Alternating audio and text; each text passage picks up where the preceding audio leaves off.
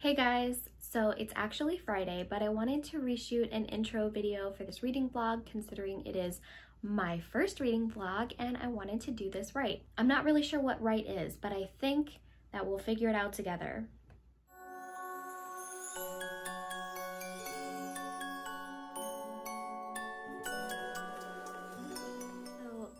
So these are definitely more informal than my Sunday episodes, which are not changing. And I wanted to show you what BJ the Book Witch gets up to uh, during the week. So this month I'm getting ready for the spring equinox on the 21st. Um, in preparation for that, I'm making some spell bottles for two of my dear friends and so I'll kind of walk you through that process a little bit of how that all pulls together. Yeah, I hope you guys have a great week. I mean, you'll see this at the end of it, so I hope at this point you would have had a good week, but this has gone too far. Um, yeah, happy reading, and I'll check back in with you tomorrow, which is actually two days ago. Hey guys, good morning. It's Wednesday. As you can tell, my day has just started. So this first week in March, um, I'm in the middle of a few different books. Dark Tales by Shirley Jackson. I love Shirley Jackson, but it, it doesn't feel lofty and it doesn't feel removed and it doesn't feel Victorian. And I mean, I love love Victorian Gothic. It's great. Shirley Jackson has just this flavor of her madness that I just, I'm into it. So these are uh, a collection of short stories. Uh, they're really dark and twisted. And what I like is that they're very relatable, they're very suburban, and they're very short. So, so far I haven't encountered one that's more than 10 pages, and some of them are as short as like four or five. The one that I read right before I went to sleep last night was about these women who were trapped inside a painting which I used to find a very intriguing idea. Like I used to watch Blue's Clues and that would be like the coolest thing ever to me that you could just do into a painting. But in this one, they got trapped behind the glass like forever.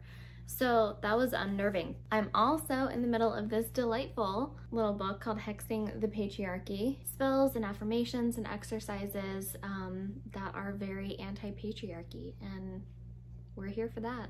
The novel, though, that I'm reading right now is, well, you, this means nothing to you. Anyway, it's The Invisible Life of Addie LaRue. I'm into this book. The writing is incredible. It is so beautifully written. I'm reading it so slowly because I just want to savor each word and savor each sentence. There was a sentence in there that I read like seven times and it says, the day passed like a sentence. This book is about a girl who makes, she lives in a village in France and she doesn't want to get married and she wants to belong solely to herself. So she makes a deal with this, not a benevolent God, but a God who answers after dark. And she says that she wants to belong solely to herself. So she does, and what that means is that nobody remembers her the second that they're through having an interaction with her is that she belongs only to herself and she is forgotten. And so I just finished part one last night, um, which talks about the way that the deal happened, what's happening in present day 2014-ish, and what happened in 1714 um, when she made the deal and how she is starting to learn the rules of the deal. And it is heartbreaking and it's also it's just so beautiful. So um, I am loving it. I can't wait to continue it. I'm going to be reading some today. So if I finish all of those I'm gonna start the death of Mrs. Westaway. I'm just in a really big thriller mood right now so I'm gonna try and get to this one this week. We'll see how it goes. So have a great Wednesday. Take care and happy reading. Hey guys it's Friday night. Welcome to my backyard, to my back patio, and the sounds of a weekend in suburbia. I'm currently doing one of my favorite Friday night activities, and that's grilling steaks. So in the meantime, I'm still reading The Invisible Life of Addie LaRue, and it is fantastic. Oh my gosh. Okay, so I completely understand what people have been saying about it being too slow, it being this like not super action-packed adventure, and yes, that's all true. But it's not slow in that it's boring, it's slow in that it is atmospheric and you are meant to wander in this world and just enjoy it and look in every window and smell every passing flower and take take advantage and just completely immerse yourself in this world and it is it's so beautiful it's heartbreaking oh my gosh this this book is so rich with heartache. It really is. Um, not in this like super indulgent, um, sort of woeful way, just in this very beautiful meaning of life sort of way. Anyway, I'm a little a little over halfway and I'm just absolutely loving it. It might be one of my favorite books of the year. It might be one of my favorite books of all time. We're not sure yet. All I know is that I'm taking so much time to read this. Um, I'm reading it so much more slowly than I read, than I typically read. Um, and usually that's the sign of a really great book because I want to savor every word. I've read a couple of more shorts from Shirley Jackson's Dark Tales and they were really good. They're, they're very suburban gothic. Like it's very wife goes crazy from not being considered a real human and her only job is to like vacuum carpets and cook for her spouse and a lot of it is like patricide. So patricide? What is it when you kill your husband? Patricide's when you kill the dad. What is it when you kill the husband? Husbicide. It's not it. I finished a couple of other books last night. I read Sleeper and the Spindle by Neil Gaiman, which was fantastic. Getting dark so fast. Yikes, I better hurry up.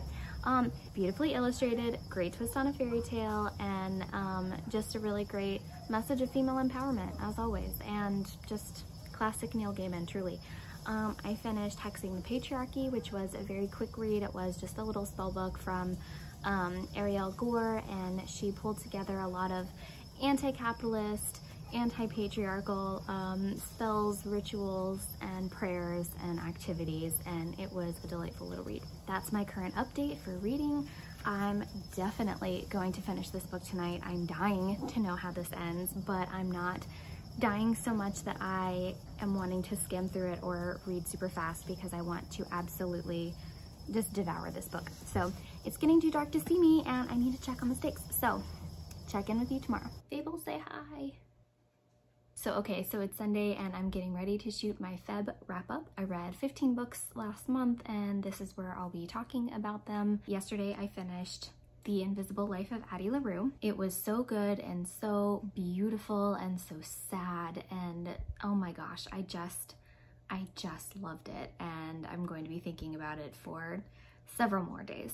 So I launched into another book so that I wouldn't like dwell in my hangover too much and I immediately started reading Jesus and John Wayne, How White Evangelicals Corrupted a Faith and Fractured a Nation. It is by Kristen Kobes Du Mez. It's interesting. I also started the, hun the Unhoneymooners because I needed, I have to read you know, something really heavy with something really light um, to balance that out. This girl, she is the identical twin of her of her sister who just got married and everybody at the wedding gets food poisoning. And so as not to let the tickets to the honeymoon go to waste, the maid of honor, the twin sister, um, goes on the honeymoon with the best man and they have always hated each other. So I'm, I'm sure something's going to happen there. So that's just Fable has some feelings about that. I have some feelings about that, but we'll see how it goes. For now, I'm going to film my wrap up. Hey guys, it's Wednesday. So I understand it's been like a hot minute since I've checked in, but for the past few days, I have been dealing with a debilitating migraine. Um, I get chronic migraines and sometimes they knock me out for a couple of days at a time. Um, so you haven't missed a whole lot, except I did finish a couple of books. I read a romance in there somewhere. Oh, I read The Unhoneymooners. Um, so that was cute. It was another light and fluffy romance. Um, it was fine. Um, I thought that there could have been a little more chemistry between the characters. They just kind of seemed to, they seemed just as surprised to be there as I was surprised to learn about them being there. My biggest problem with it was that growth of the characters, like the bulk of it, took place off screen, like where we couldn't really see their thought processes change. So that was weird. I mean, I would have liked to see that. But whatever, it was fine. Cute, light, fluffy romance did it. I also read Crooked House by Agatha Christie. What I love about Agatha Christie is that she really roots her stories in nursery rhymes. This one was about like the little crooked man who lived in a shoe. No, he lived in a crooked house and he invited everyone to live in his little crooked house. Whatever. I don't know the rhyme apparently, but it was a neat story. Twist ending, you kind of knew it, but then didn't. Um, okay, so anyway, what am I doing here? This is my witchy corner. Welcome, hello to my witchy corner. So the activity here, the, the little witchiness that I wanted to include in this reading vlog was on spell bottles. So the thing about spell bottles is that they can be used for all kinds of purposes. They're really just a way to cram intention all into one place. A lot of people get really hung up on the word spell and that's fine. The people who get hung up on it on a good way really enjoyed like the feeling that it evokes, like ooh, spell. And then the people who don't like that's like their trigger word. They're like, oh, mm-mm, no, too far. That's like full on hocus pocus and whatever. They're both fair. So if you don't like it, that's fine. And don't use that word or just call it a bottle or a trinket. I don't know. Call it whatever you want. Um, I call them spell bottles because I enjoy that connotation. For example, these are my spell bottles for the first three months of 2021. This was my January spell bottle. So what I do is I pick a theme, I pick a goal, I pick some intentions, I write them down on a piece of paper That's that piece of paper right in there. I pick some herbs that go along with those themes. Everybody knows aromatherapy works to some degree because bath salts exist and candles exist and lavender makes you feel calm and peppermint makes you feel awake. So to whatever degree you believe that it affects you, that's how these will work for you. It's the same, it's the same concept. You put some herbs in here. I always add glitter because duh. And I also add some crystals because I love crystals, I love gemstones, I love stones of any kind. And then the last thing I do is I pick a charm and I pick a charm that, that sort of matches my intention. And I put my spell bottle where I can see it every single day. And it reminds me what I'm working towards. I'm work it reminds me what my goals are for that month, what my mindset's gonna be for February. Very pink, very feminine. Um, it's got like jasmine and rose in there um, hibiscus and like a little bit of lemon. And here's my one for March. It's like super green and has my little intention in there. So I do spell bottles for myself every single month. I do it when I set up my planner for that month, um, when I'm goal setting, all of that stuff. It all happens right at the same time. And I don't usually do them for other people. The only times that I do do them for other people are as gifts on special days or special holidays. On the 21st is going to be the first day of spring, and that's the spring equinox. And the name for that in different, you know, pagan practices is Ostara, which is where we eventually get the word Easter from and why Easter Easter is celebrated at this time in particular. Not that Easter is a made up holiday, obviously has very religious significance, but the reason that it is celebrated at this time is because it coincided with the pagan practices of Ostara, which was to celebrate the changing of the seasons, and the equinox. Equinox means equal, which means day and night are once again equal. I love to celebrate Ostara because the themes are kind of similar as far as um, secu the secular imagery is the same as with Easter. It's very like bunny heavy, like fertility, eggs everywhere, the idea of like life's growing again, you know, things are regrowing, change, moving on, new growth, flowers are starting to bloom. It's very, very spring, it's very, very happy. And this being a full year after the events of 2020 and like where they all started. So I'm making two spell bottles for my two closest friends who live here who are also going to be joining for a socially distant Ostara feast. So first I just wanted to show you what a spell bottle kind of looks like, my thought process behind it and why I'm putting them together and yeah, let's get to the planning stage. Hey guys, it's Thursday. Um, you're here with me in the car. It's not moving yet. And we are going to the apothecary so I'm going to take you along with me. Um, I'm not going to take you inside though. Sometimes they have programs going on in the background, sometimes they have classes, crystal healing, things like that. And so I didn't want to do anything that would be disruptive. So we just got back into the car from the apothecary. You can see my uh, mask marks. And um, it was a good trip. Lots of good goodies in here. In fact, I have two bags. I just saw a giant lobster on a truck. Like a, the, I saw a giant truck the shape of a lobster. Whatever, Orlando is a weird place. So that's all for me for right now. I'm going to go home and read a whole lot. I'm going to read The Death of Mrs. Westaway, and then tomorrow will be Friday, and it is assembly time for the spell bottles in the garden, so that will be a good time. So I'll check in with you later. For now, it's lunchtime, and this witch is hungry. So see ya. Hey guys, it's Friday. So last night I did get a little bit of reading done. I'm still um, almost done with Dark Tales by Shirley Jackson. I am really enjoying uh, Death of Mrs. Westaway. Not as much as I enjoyed in A Dark Dark Wood, I'll be honest, and it took like a jump start to get into this because it starts a little bit slow. And this one really let you wallow in her current situation before thrusting you into that disruption of a routine. Um, and I think, I mean, it was purposeful, it was intentional. You really needed to feel her despair in order to understand why she made the choices that she made. But for that, it is a little bit slow before things like start going. And then even when they do start going, it's not like something exciting happens immediately. It's It feels very old English manner. It doesn't feel as psychological as in A Dark Dark Wood. In A Dark Dark Wood, you knew something was up and you knew somebody was out to get somebody and you knew somebody was gonna die. In this one, it just kind of feels like something may have happened, but if it did, it happened a really long time ago and maybe it tangentially affects the main character.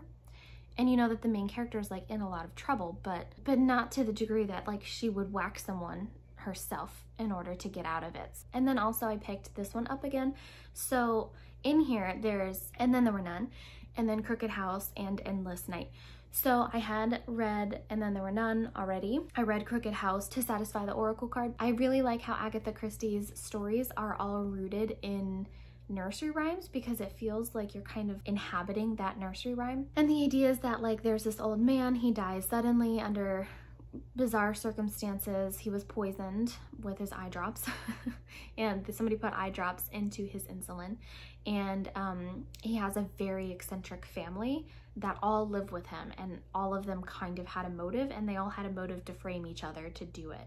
So it's it's just about figuring out who in the eccentric family did it. And then I'm a completionist, so I couldn't just like put this book back on the shelf without having read Endless Night. So that's what I did. I picked up Endless Night and it is so far about a house that was cursed um, by the inhabitants who were forced to flee the land. And I have a lot of I have a lot of thoughts on this one. The thing with Agatha Christie and a lot of other writers, but Agatha Christie is a good example. Um, problematic words, problematic language, problematic view, non-native views. So, and then there were none used to have a different title. And even before that title, it had a different title that was even worse. I don't even, I haven't even formulated all my thoughts yet, honestly, um, but that's my homework for the next couple of days as I write my script for tabled content. She has very non-native views, and what do we do about that as readers now? So I love Agatha Christie's mystery writing. That doesn't mean that it's free of criticism and other aspects, you know? And so Endless Night in particular really brought that into light for me and gave me some more material to work with. The depictions of the Romani people, I'm assuming Romani people, um, in this book are problematic. So I'll be finishing Endless Night today. I'll be finishing The Death of Mrs. Westaway today. I'll be finishing Dark Tales today, and then I'll be pretty much done with freaking white lady ghosty authors. I'll be I'll be ready to take a break from that and read some like nice middle grade, some Cassie Beasley. I'll just be reading some other stuff for like just a little bit of a break. But it is also Friday, so this afternoon at sunset, we will be in the garden and we will be putting together our spell bottles for L and K. So I'm really looking forward to that. Right, so I will uh, check in with y'all later.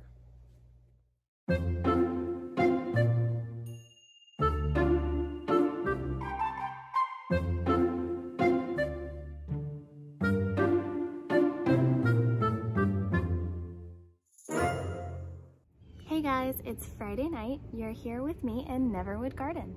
So like I was saying, uh, while we're out here, we'll probably be hearing a lot of sounds of suburbia, like the birds chirping and more helicopters giving tours of Orlando, uh, the neighbors' dogs, and probably kids splashing in pools because it is delightful outside. It's like 82 out, 82 degrees Fahrenheit. Um, so it's, it's nice. So we're going to get set up down here and I'll show you how we assemble our spell bottles.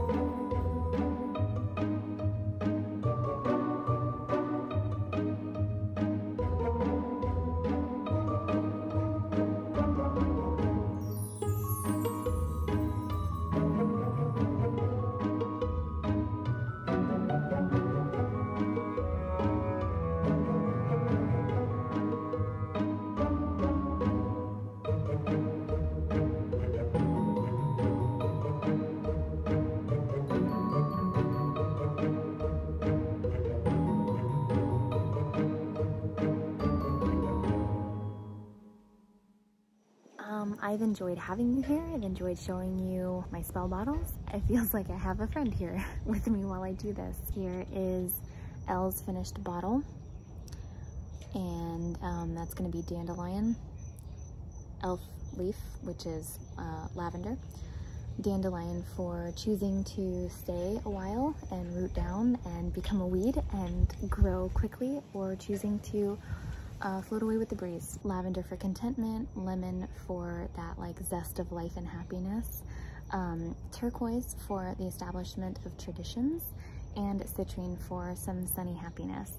Um, she has her affirmations in here with the paper and Palo Santo here, um, meaning she can take these top two out and she can open it up and read it. She can light the Palo Santo and cleanse her new home if she wants to, or she can dump the entirety of the contents out in a fire safe container and burn them and have a delightful um, incense blend. Um, this is completely up to her and her crystal. She can choose to keep it as a palm stone if she wants. She can keep it with her bottle or separately, but they go kind of well together. See how they match? That was intentional. And this is Caitlin's finished bottle and it is um, deliciously fragrant. She can choose to open it and kind of use it like potpourri. So this is not so much meant to be burned as it is meant to sit because of the amount of oil in there. I would not burn this.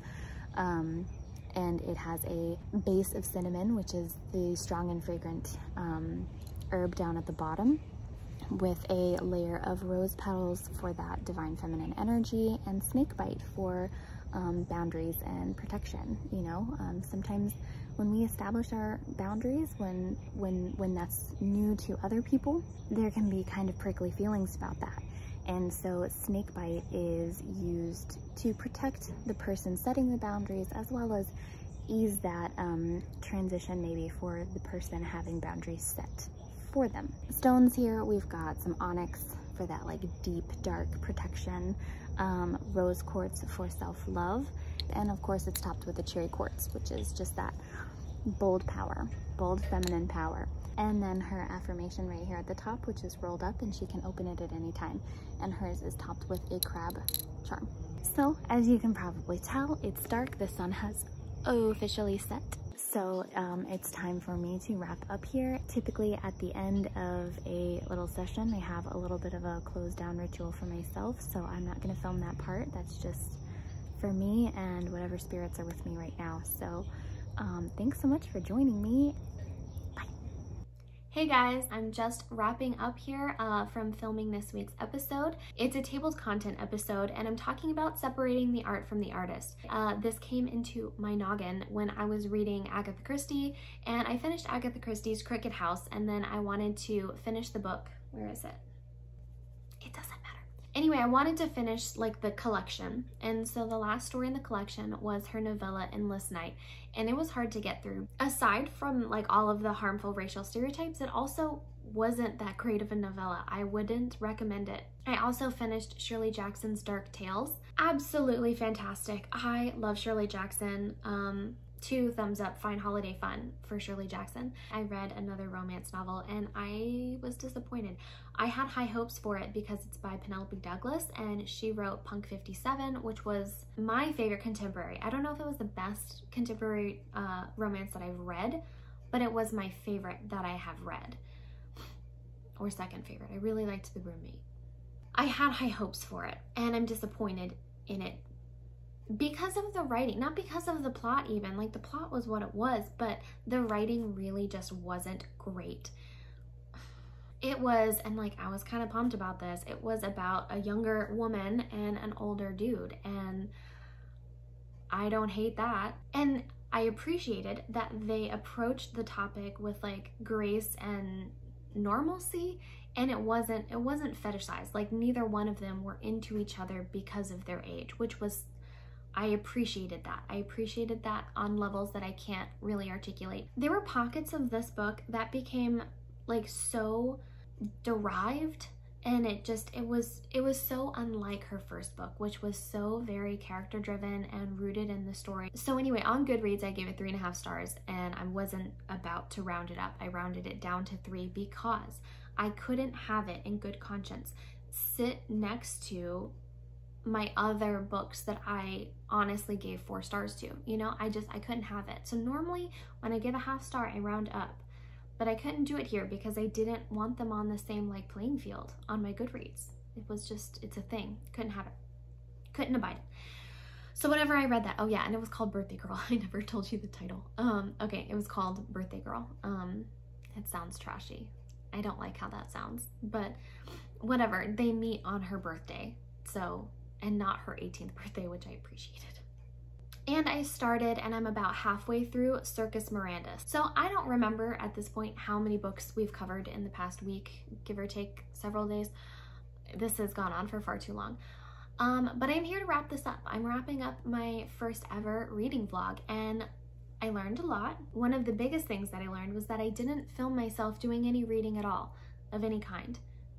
So uh, that's something I'm gonna work on for next for next time. Um, but, and this is a secret between me and you and the 10 other people who are watching this video, um, I got some really on brand like theme music, like background theme music, and I'm so excited to put it in to these vlogs that I I simply need to show other things and I need to show reading and I can show you where I read um, mostly here in this like bomb ass chair. I feel like an authority in this chair. It is it is blue, it is velvet, it is extremely uncomfortable. It just, I sit in it with this air of authority and so I like to read there. Um, I also like to talk from here, which is why I feel so self-important. For now, this week is finished. I've enjoyed showing you little glimpses of kind of my thoughts as I have them on these books, kind of not non-scripted, non-scripted Beej.